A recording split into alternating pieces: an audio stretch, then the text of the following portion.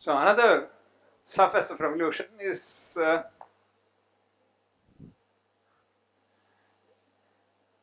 just take a straight line parallel to the z axis, rotate. So what are you going to get? A circular cylinder, right?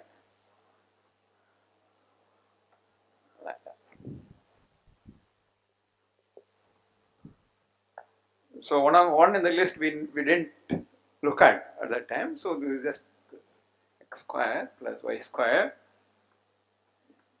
equal to one. In in R3 it represents a cylinder. There is no restriction on the z axis, z coordinate, right? So only the x and y coordinates have to satisfy this. So they always lie on a circle. Circles parallel to the xy plane, right? So stack one circle on top of the other. So you're going to get the cylinder. We'll come back to this later. So this is what is called a helicoid. Uh, heard of helix? A curve called helix.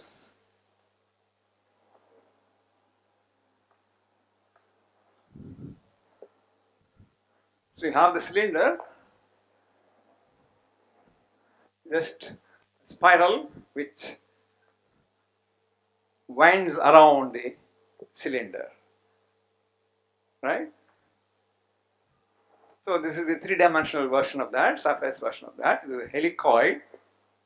You might have seen uh, what are usually referred to as uh, uh, spiral staircases, right?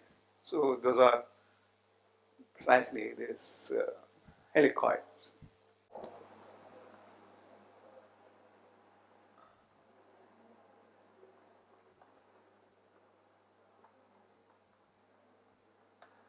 Take something like this.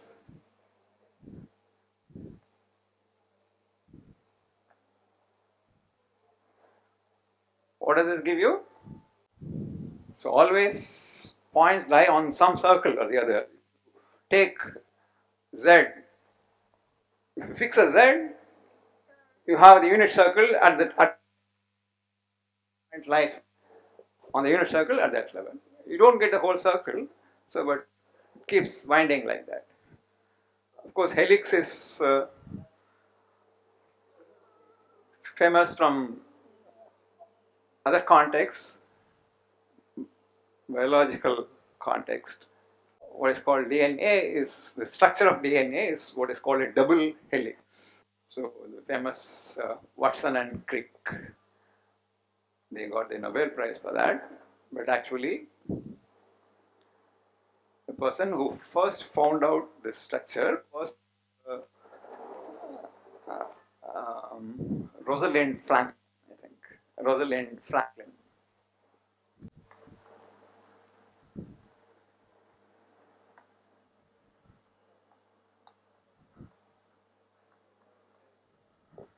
I'm not sure about this, but this certainly is.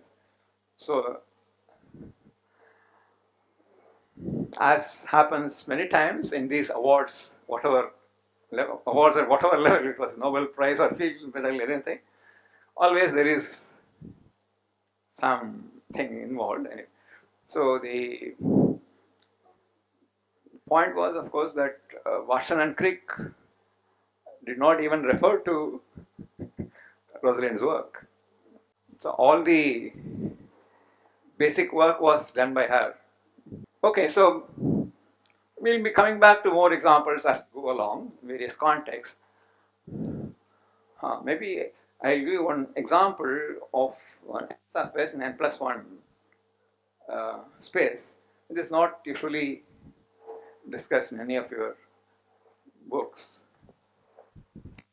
Uh, rather, not n, n and n plus 1, but n, square and n square minus 1. Let's look at, let us look at the lower dimensional case. Look at all 2 by 2 matrices. Mm, real.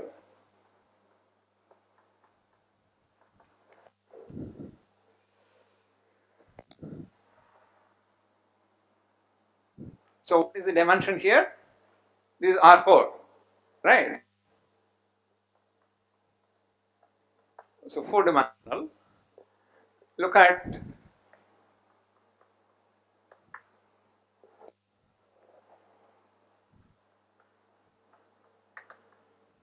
x here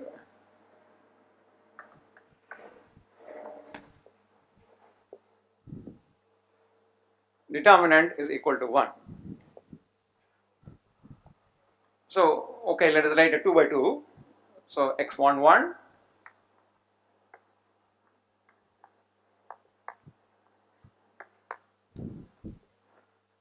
So, this is a matrix. So, what is the determinant? 2 by 2 matrix. So, x1, 1, x2, 2 minus x1, 2, x2, 1 equal to 1. So you can think of this as all points in R4 satisfy this condition. So this is a three plane R4. This is a level surface, right? F of x1 1, x1 2, x2 1. So instead of writing x2, x1, x2, x3, x4, we write like that, okay? Because you have matrices, is this one. So all points where f is 1, so this is f inverse 1.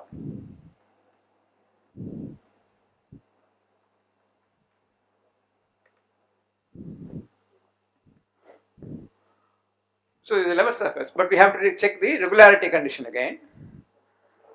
So you have four partial derivatives, right, with respect to each of these variables. So what is, so let's write 1, 1, 1, 2, so on. So del 1, 1 f is x2, 2, right? Del 1 2 f is minus x to 1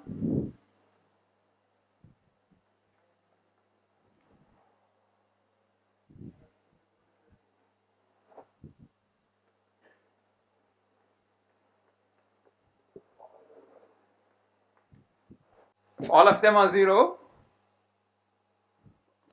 then what will happen? You get the 0 matrix 0 in R4 but that cannot satisfy this condition right? So every point therefore is a regular point on SL2 so every point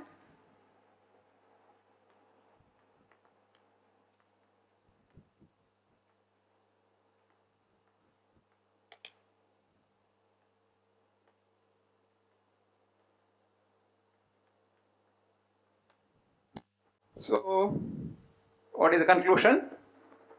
This is what we have called SR three surface in R4. Because there is nothing special about 2 here, you can take any matrices of any order. So, M and R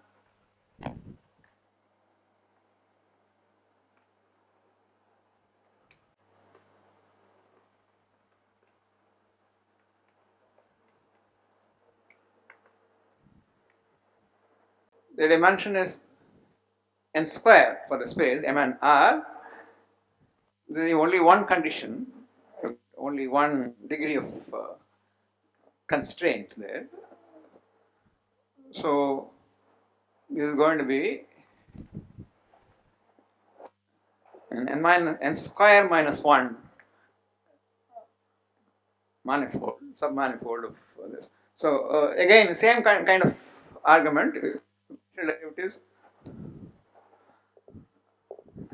But tell me now, how do you here we had 2 by 2, we, so we explicitly wrote down the determinant x1, 1, x2, 2 minus blah blah blah. But you so then differentiated. Okay, so how do you differentiate a determinant? So if you have a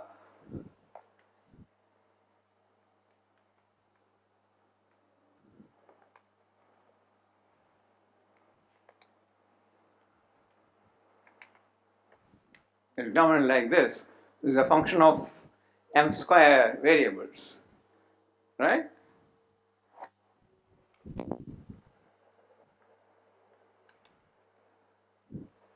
So if you want to find, for example,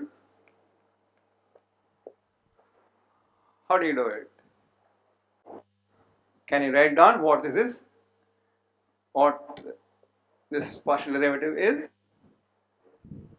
You know how to expand the determinant, right? Rows by rows or by columns or whatever. So, how do you expand? 1 1 times the n minus 1 by n minus 1 determinant. x minus, uh, I mean, x11 will, will it occur in either place?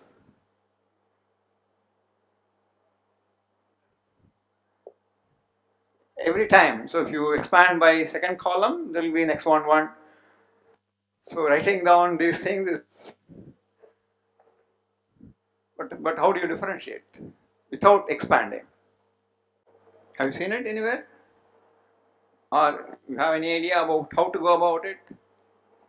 Okay, you, you think about it. Okay, you'll come back to this. You spend some time on trying to see how to do it. Okay, so expanding, you won't end up anywhere, right? It's complicated calculations. But without actually expanding the determinant, how can you differentiate this function, determinant function?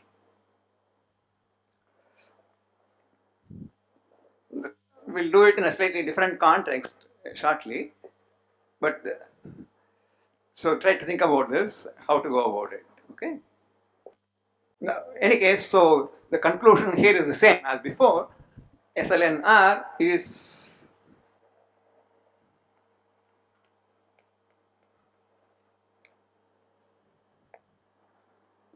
is an n square minus 1 surface in Rn square, okay, or and R. So we also defined tangent vectors yesterday, right?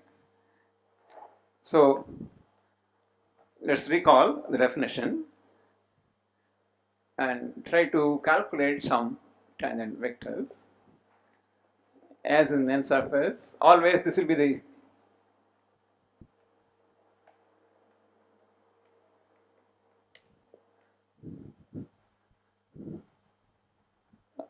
P the point in S, V. So let me use the notation that was used yesterday.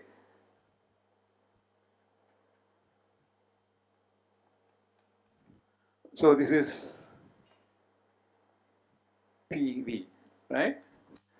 According to yesterday's what Dr. Main used. This is a tangent vector to S at P if there is a, a parametrized curve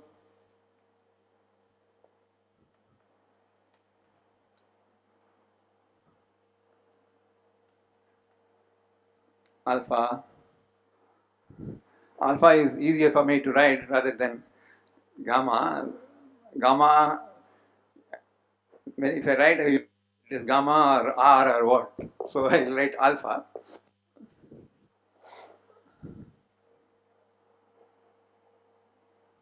Such that uh, alpha on S that means alpha t lies in S for every t such that alpha 0 is P and alpha prime 0 is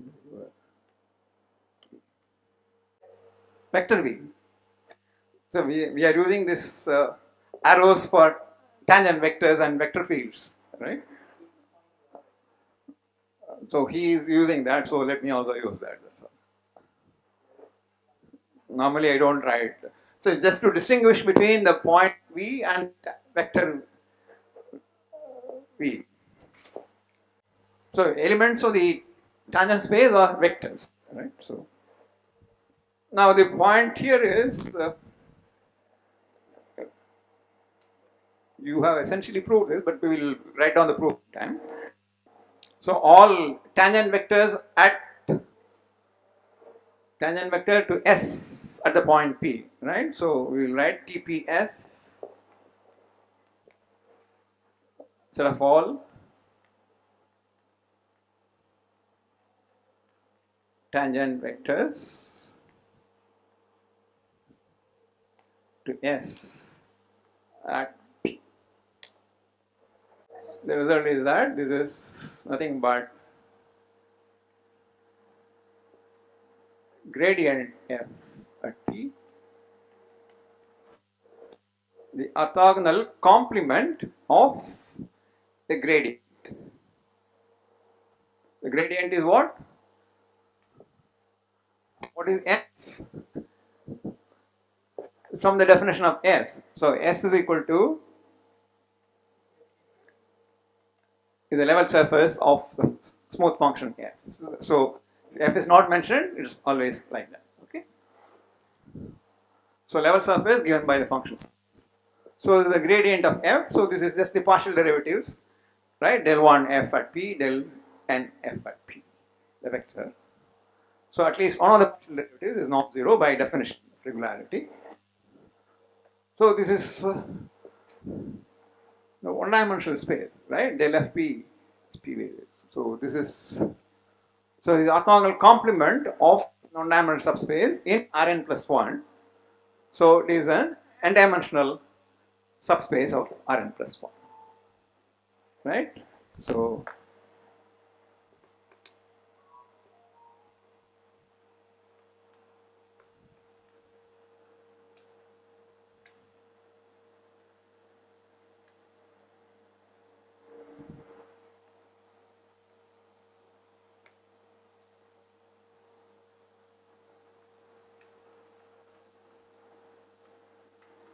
the orthogonal complement in Rn plus.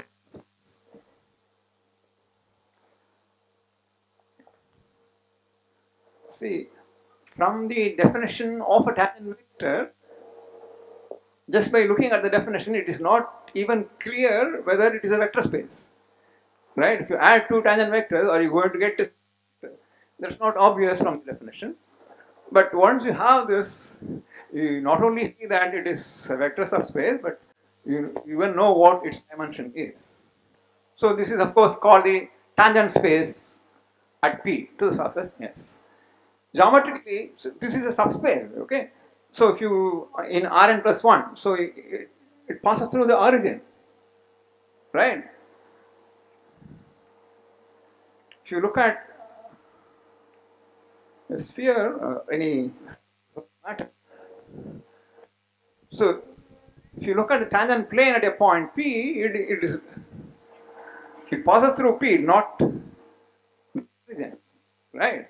So geometric tangent plane is different from this tangent plane. So, but what is the relation? Geometric tangent plane will pass through the origin. So it's just translate of that. So translate this actual geometric tangent plane to the origin to get the this TP. So this is a translate of so the the geometric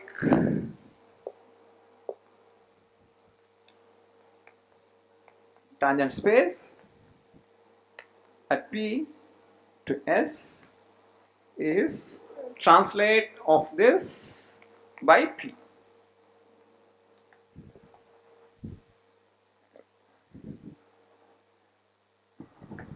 See, remember TPRN plus 1. What was TPRN plus 1? It's all pairs P comma vectors in Rn. So it is say we P cross Rn plus 1.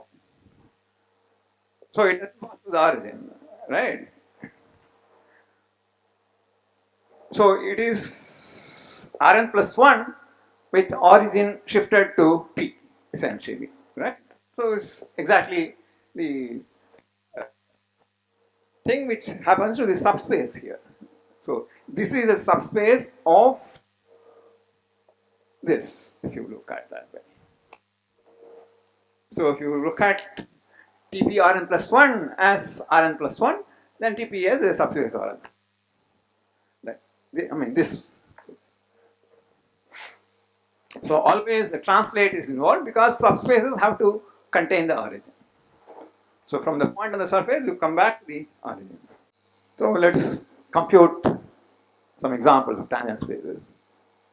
So example,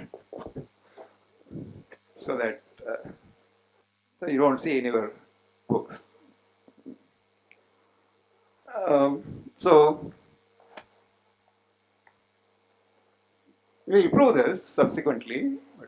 It's quite simple. In fact,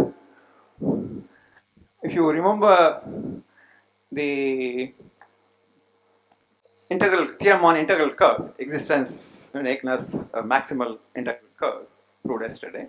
The last part of that, if you look at the proof, it's more or less one one part is just uh, chain rule. The other part is almost the same as the proof of part three of that theorem. We will write it down sometime later.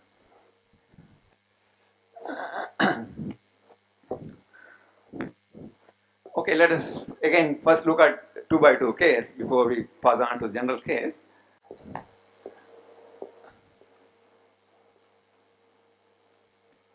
Hmm. Let us try to compute space to this at the identity matrix. To make things simpler, let us take the identity matrix. So what is Ti?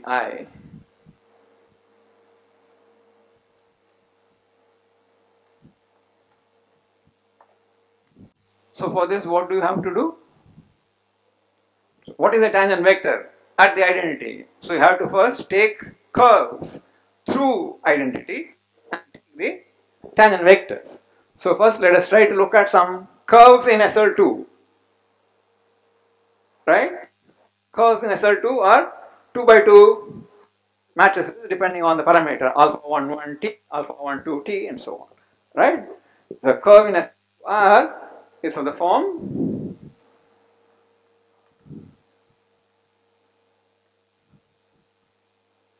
the components are there okay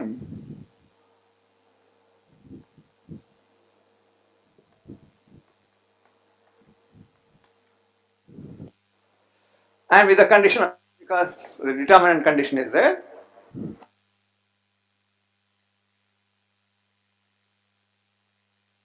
two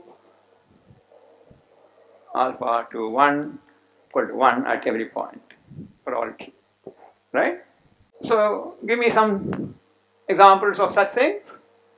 Let us first look at some examples of such curves here. Okay? So, for example,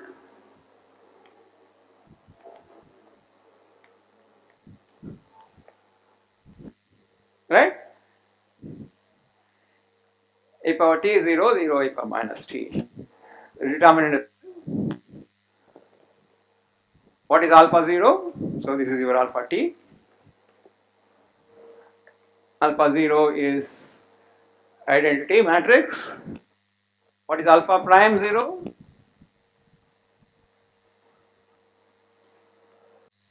have to differentiate these things. E power t 0 0 minus e power minus t right uh, evaluate at 0, 1, 0, 0, minus 1, right? So this is one tangent vector to R.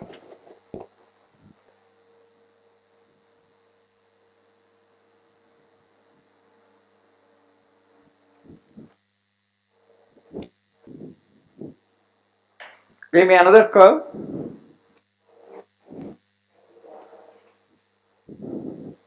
rotation, right? T sin t minus sin t cos t.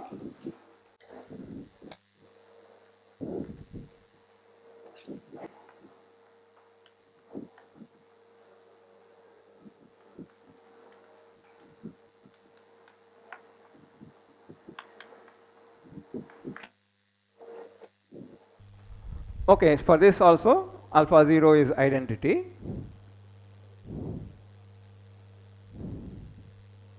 Then alpha prime 0, alpha 0 is i, alpha prime 0 is uh, what? 0, 0, 1, minus 1, is that right? Is there any property common to this and that? Here 1 and minus 1 are the eigenvalues, right? What is the sum? 0. So what is 0 in this case? What is the sum of eigenvalues? Is the trace, right? This also has trace 0.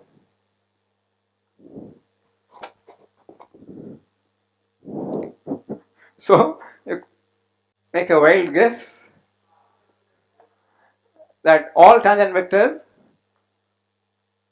are going to have 0 trace. But is that true? Or can you say the other way? If you if, if you have a matrix whose trace is 0, then it is a tangent vector. There are two things, right? One statement that every tangent vector has trace 0. The converse, every trace 0 matrix gives you a tangent vector. Both look look to be true. Which one looks easier? See, starting with uh, any matrix, how to get an invertible matrix, for example. Look at the exponential.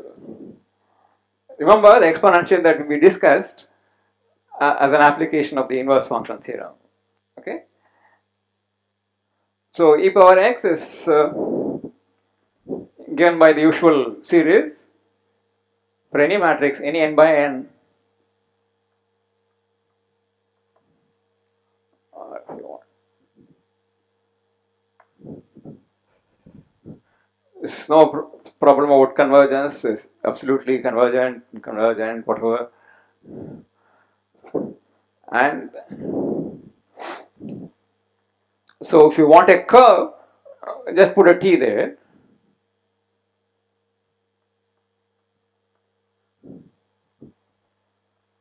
Right? Alpha t defined as fix, a, fix an x, take alpha t to be e power tx. Okay? In general, of course, this is a non-singular matrix. e power x is always invertible. e power x into e power minus x is identity. So e power tx is invertible.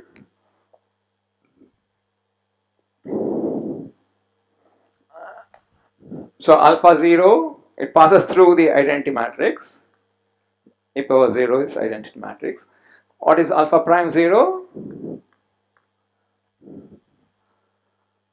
x e power tx. So this is going to be x. Alpha prime t is x times e power tx. I'm leaving some of these for you to verify. We had done this earlier in one of the classes when we discussed inverse function theorem. So alpha prime 0 is x.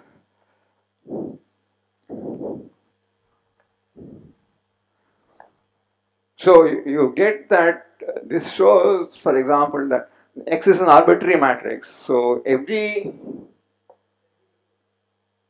n by n matrix is a tangent vector at the identity to to, for example, all non-singular matrices, right? This is always non-singular, so this is a curve in GLNR.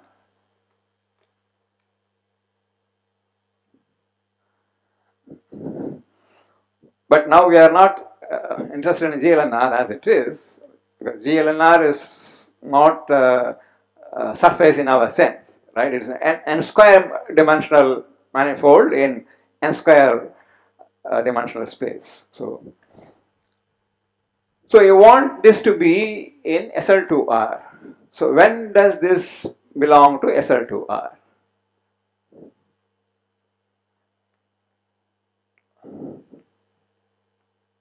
Or SLNR.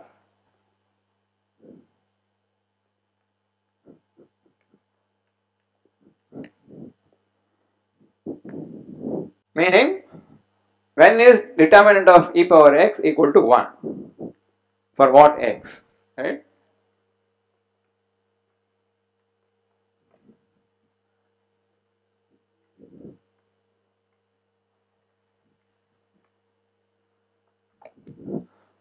But what is determinant of e power x in general?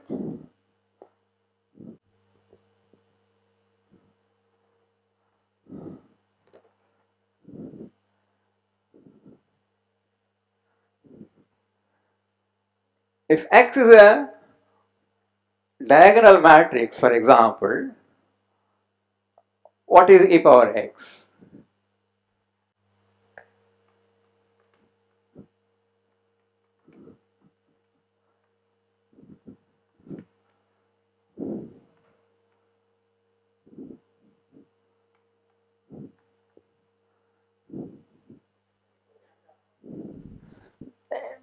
What will be the powers? What is x square?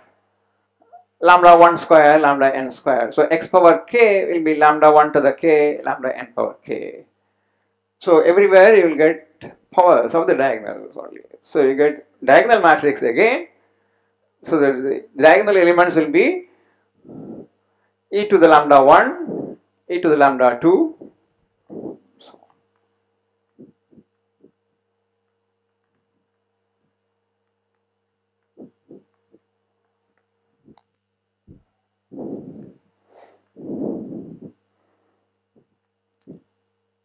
What is the determinant in this case? e power lambda 1 lambda n. This is nothing but e power trace of x. This is for a diagonal matrix. What about a triangular matrix? It's not diagonal but triangular, so doesn't matter. Some something is there instead of zero, but still the determinant is going to be the same, right? Even for a triangular matrix.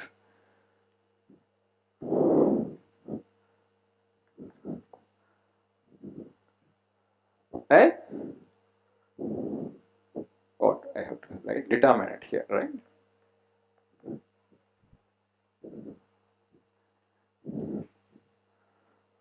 So for a triangular matrix, determinant of e power x is e power trace of x. Right? What about a general matrix? Any matrix can be triangularized. Not all matrices can be diagonalized, but all matrices can be triangularized. Which means what? There is some whatever A so that AX A inverse is triangular.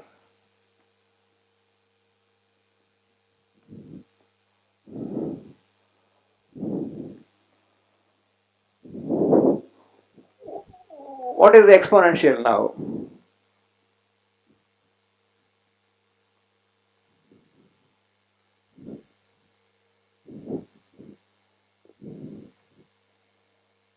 You have to add the powers of this. Right? This is sigma ax a inverse power k by k factorial. But what is this? ax a inverse ax a inverse so on. So all these a's which lie in between will cancel off leaving you A inverse on this side, A on the other side. In the middle you will have only the x's. So will x, x, x, x, k times. So this is A inverse, oh A this side, okay. A x to the k, A inverse. So this is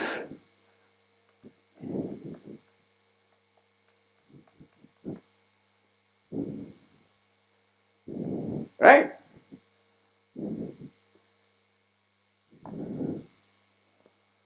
For any matrix, if you which is similar to a given matrix, if two matrices are similar, they have the same everything. Uh, right? Eigenvalue, determinant, trace, everything.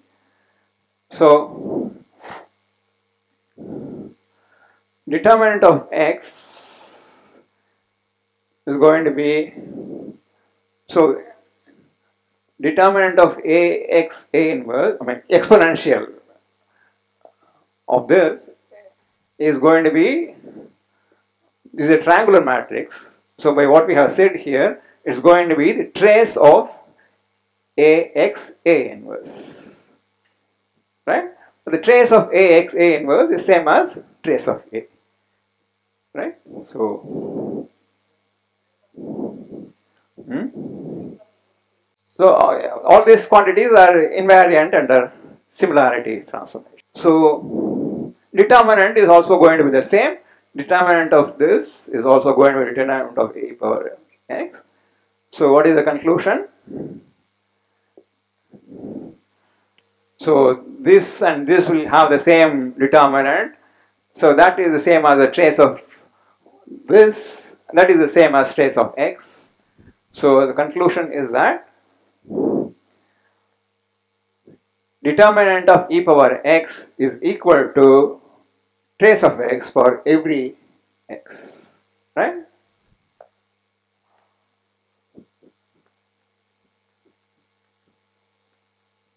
e power trace of x.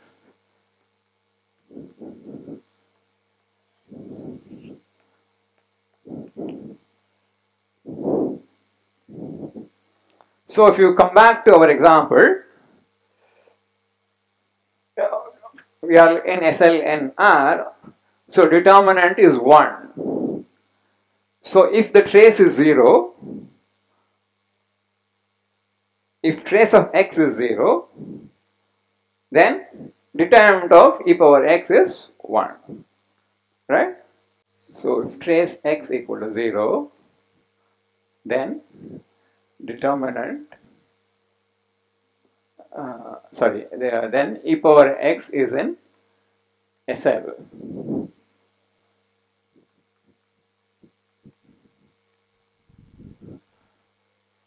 And therefore, of course, the curve e power tx is also in for every t, the same thing is true.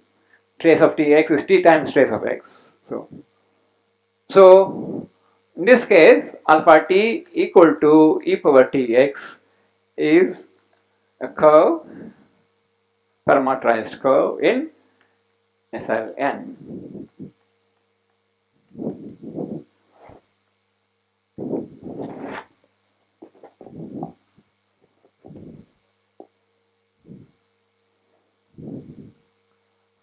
Through i. Alpha 0 is i. And the so alpha prime 0 is x as before. So what have we proved?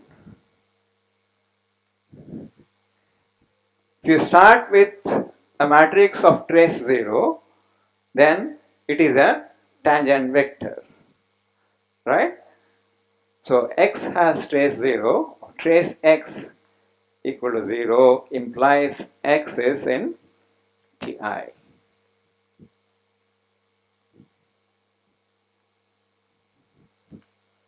Or what is the same? If you look at all x in MNR, trace 0, so this is contained in the tangent space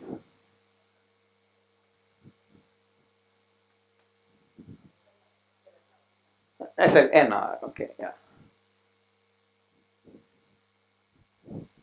So we have one enclosure. What about the other enclosure?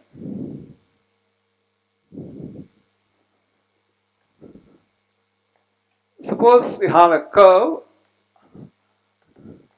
alpha ijt. This is in SLNR. Right? What can you say about alpha prime 0? How, how do you calculate? So now again, this is in SLNR, which means that determinant alpha ijt is equal to 1. What does this give you? If you differentiate both sides, alpha 1 1 t, alpha 1 n t, alpha n 1 t, alpha n n t, this determinant is 1. So differentiate with respect to t now.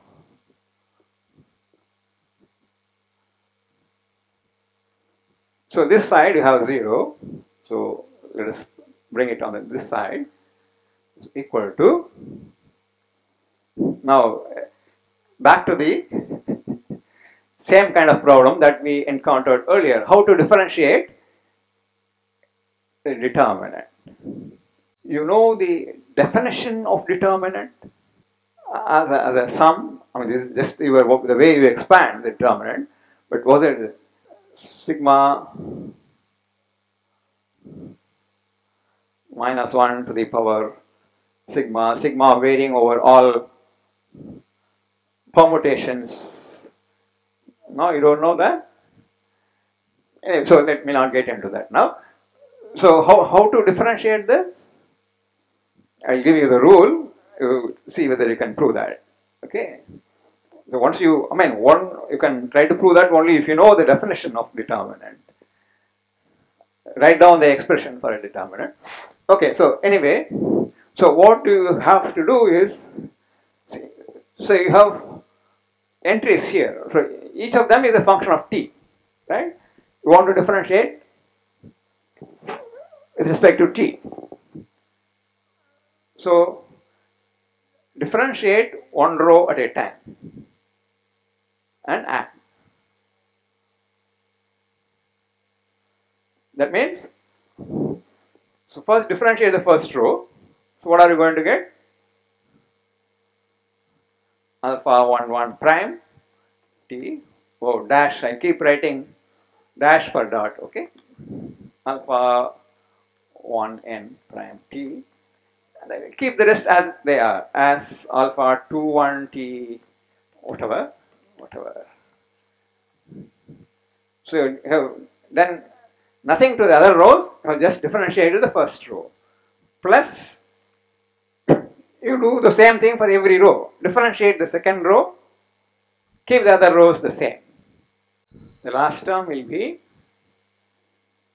alpha 1 1, alpha 1 n, blah blah alpha n minus 1 1 alpha n minus 1 n, alpha n1 prime, alpha nn prime. So this is going to be sum of n determinants got by differentiating row one row at a time. So I mean this of course now instead of uh, looking at one determinant, we have to calculate n determinant. But we are, to simplify things, we calculate it at alpha equal to 0. Right? We want only the tangent vector at the identity. So, evaluate at 0.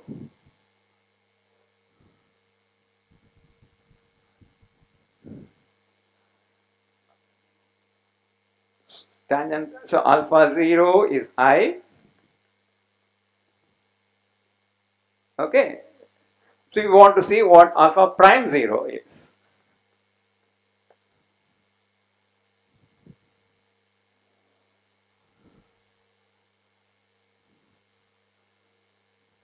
So alpha 0 is i. If you evaluate this at 0, what are you going to get?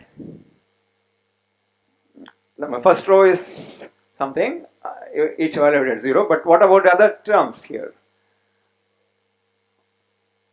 The diagonal terms are all going to be 1, all other terms are going to be 0. So you are going to get something like, I mean this determinant is of the form alpha 1 1 prime 0 blah blah alpha 1 n prime 0 and then 1 1 1 like that and 0 everywhere else. So this determinant is now it's a triangular matrix so just the product of alpha 1 1 prime 1 1 1 1 1. So this first term is just going to give you only alpha 1 1 prime 0 and uh, same way so this is going to give you alpha nn prime 0 so this is a tangent vector this is your x right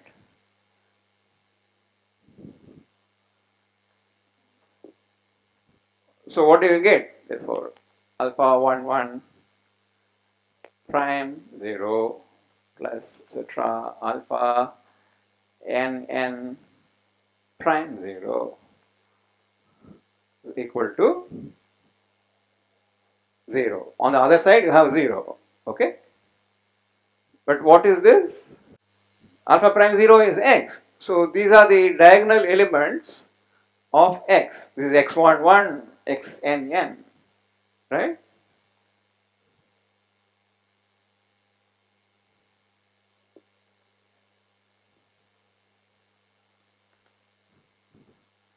So it is just the trace of x.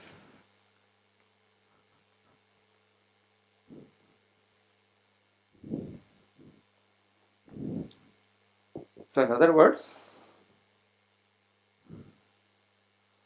what? If a vector, if, if a matrix X is a tangent vector at 0, it has zero trace. And conversely, if we have seen the earlier, uh, the other way, if you have a matrix of trace 0, then it is a tangent vector. Right? So, so x is in Ti SLN implies trace of x equal to 0. That's what we have arrived at here conclusion. Therefore, combining this with the earlier one, uh, we are going to have that the tangent space at the identity to SLNR is the set of all matrices